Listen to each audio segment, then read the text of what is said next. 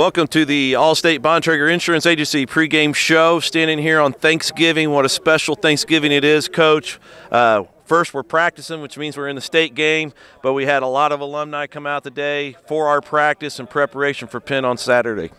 Yeah, this is the first time we've been able to do this. It's our third uh, trip to the state championship game, but the first time uh, we've uh, tried to plan a function. Uh, one of my assistants, our O-line coach Andy Moore, who's a former player and a coach now, uh, gave me the idea, and then he put it out on social media, and I can't believe how many guys came out from from the past, all the way I think from 61, from 61 to, to you know from last year. So, what a great turnout! I'm so proud to be out here on the field and uh, be representing these guys for the state championship Saturday night really neat for the current team to see all these guys. You mentioned uh, we had them from 61 all the way to last year's team. Neat to have everybody come up and introduce themselves. We have a few standing behind us.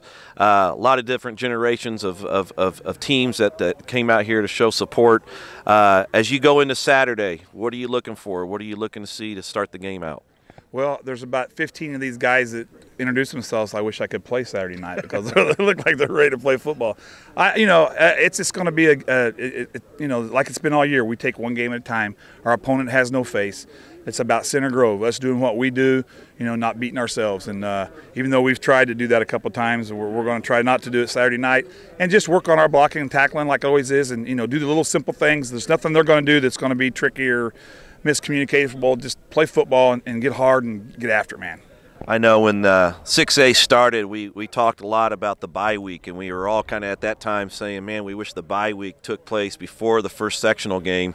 But as it turns out, we got pretty lucky. Uh, having the bye week after the Avon game gave our guys a lot of opportunity to get healthy, and uh, we're pretty fresh going into Saturday. Yeah, this has been unbelievable. I'm the guy that voted against the bye before the state championship, by the way. So everybody's been texting me and uh, telling me, ha ha ha. But I'm, I'm glad that uh, I had about 48 other guys smarter than me that voted for the bye. Um, it is the perfect time for it if you're playing for the state championship. If you lose early in the tournament, you'll probably say, well, if we had a bye at the end of the year, I might have got people healthy. But with us, we were able to get through the tournament to this point. We've had two weeks now to get ready for this game.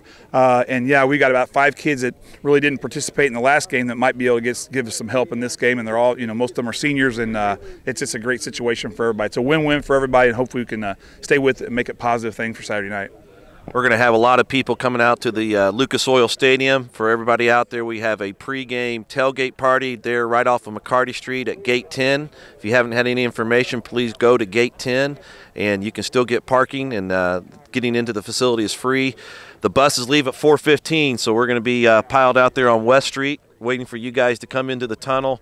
Uh, couldn't be more excited, couldn't be more proud. We wish you all the luck. Happy Thanksgiving, and uh, let's go get a victory on Saturday. Well, we're going to load up and get on the bus and make the trip, and uh, hopefully we can do the things we've done all year. Just play good, hard Trojan football.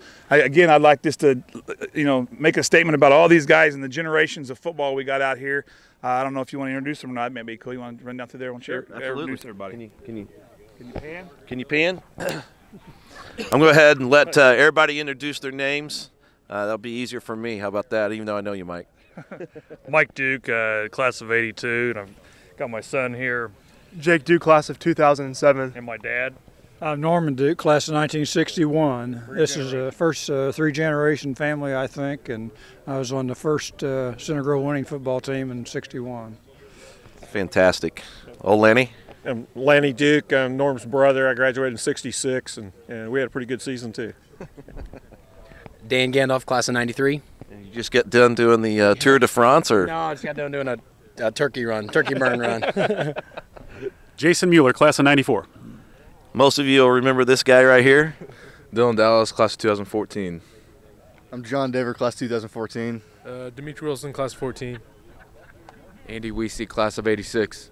And this is just an assortment. We have probably well in excess of 100 folks that came throughout the uh, practice really neat for the team to experience uh, the tradition, the excitement. These guys are ready for you guys to get a blue ring, and uh, we got a lot to show out there.